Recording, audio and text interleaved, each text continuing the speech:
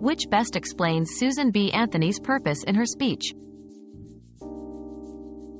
Susan B. Anthony's purpose in her speech was to advocate for women's suffrage and equal rights. She passionately argued for the importance of granting women the right to vote, emphasizing that it was essential for their full participation in society. Anthony believed that women's voices and opinions should be heard and valued, and she dedicated her speech to persuading others to support the cause of women's suffrage.